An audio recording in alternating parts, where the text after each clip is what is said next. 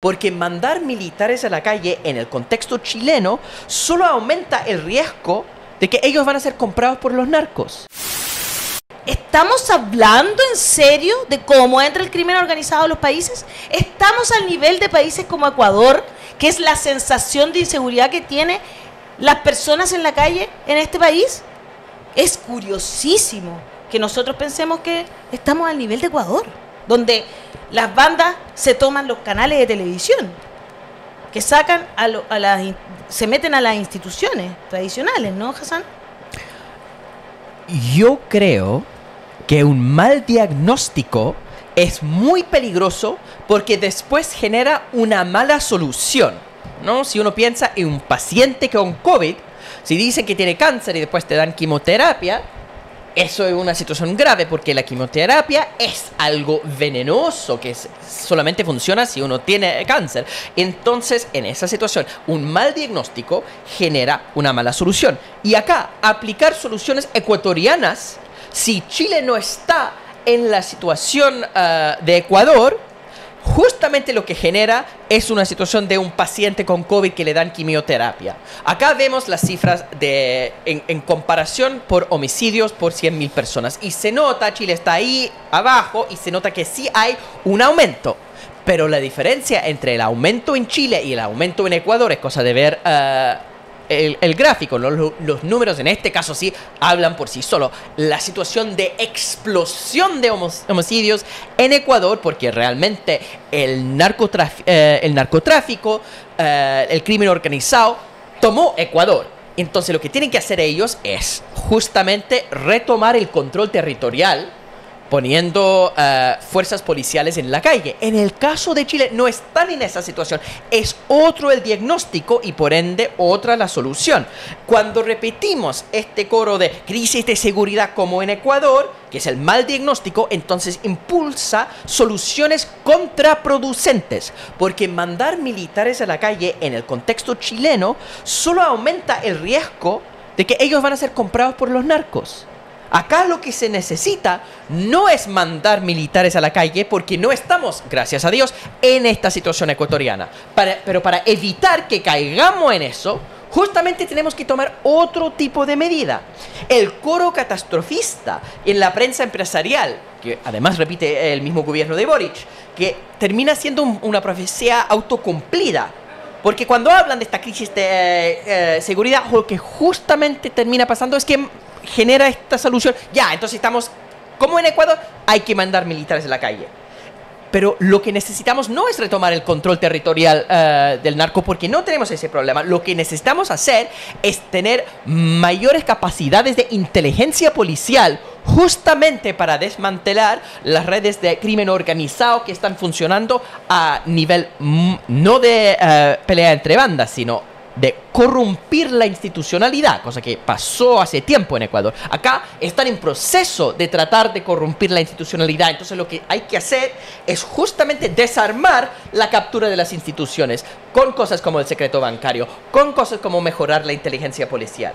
Necesitamos reformar las policías para hacerlos más difíciles de comprar, no tirarlos a la compra, que es lo que termina haciendo Bodanovich y Carter cuando dicen lo que necesitamos militares en la calle.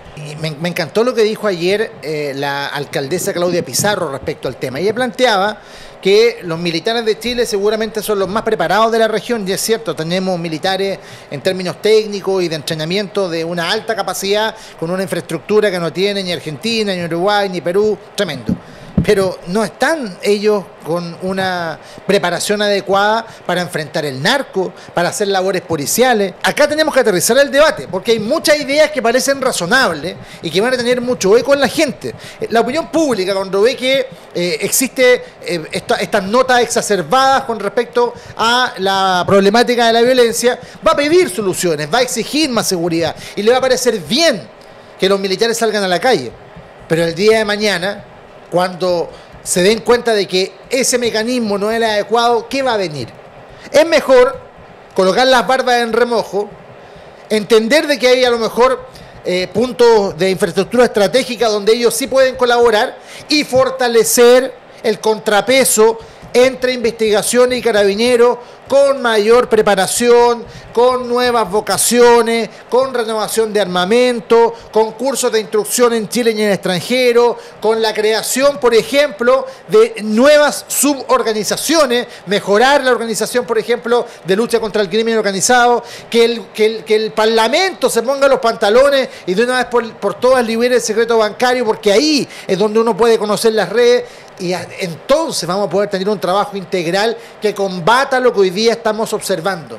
Porque las recetas que parecen ser las más razonables, cuando nos enfrentamos a problemáticas tan complejas, dejan de serlo. Y, claro, y, dejamos que los demás hablen de lo que quieran, ¿no es cierto? Y, pongan el relato donde quieran y nos vamos a perder esta oportunidad. Y lo que hace la prensa, porque ¿quién es Pablo Herrera? ¿Por qué tiene que salir Pablo Herrera diciendo que, se lo piten a todos? Lo ponen como, una, como un titular, como, como si fuera una voz autorizada para hablar sobre, sobre cómo combatir a la delincuencia. Sea un cantante, todo bien. Y por supuesto que si estamos en el living de la casa, él tiene el derecho a decir lo que quiera, obviamente.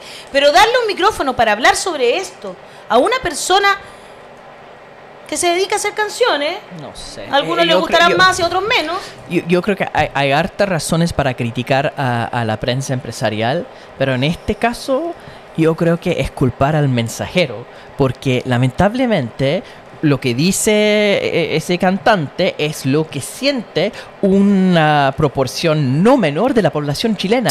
Esa reacción violenta frente a la, a la amenaza es una reacción muy humana. Los seres humanos, cuando se sienten amenazados, pueden reaccionar de distintas maneras, ¿no? Algunos se esconden, otros se ponen agresivos y en este caso la agresividad es frente a la sensación de amenaza. Yo vivo muy cerca del mercado central, ¿ya? Y yo veo a los haitianos que están ahí de lo más piola del mundo.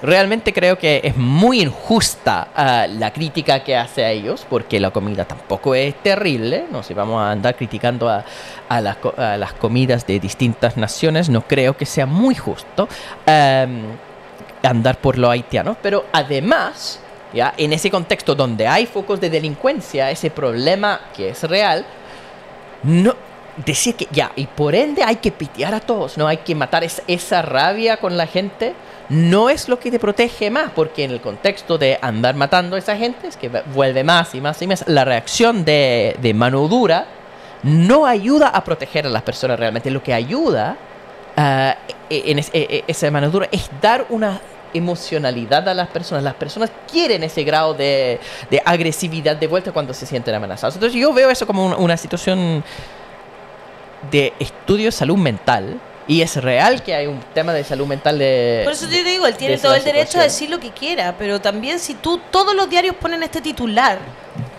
o sea, los medios de comunicación tenemos una responsabilidad social. Sí, pues. ¿Tú crees que de verdad poniendo este titular se gana algo en el combate contra la En lo absoluto, y aparte que es la opinión de Pablo Herrera. Es, es reportear. pero por eso ¿Es experto en seguridad Pablo Herrera? No, pues por eso te estoy diciendo, es un cantante. Pero... Entonces, de verdad, ¿por qué está hablando de esto? O sea, todos tenemos derecho a hablar de cualquier cosa, yo en eso estoy de acuerdo. Es la amplitud pero que me refiero, sus palabras. Claro, a, la, a, la, multiplicación de todos los medios hablando sobre esto. Es un amplificador de su discurso. Y tú tienes que ser responsable. Si vas a amplificar el discurso de alguien, pon datos como lo que estás dando tú, Hassan.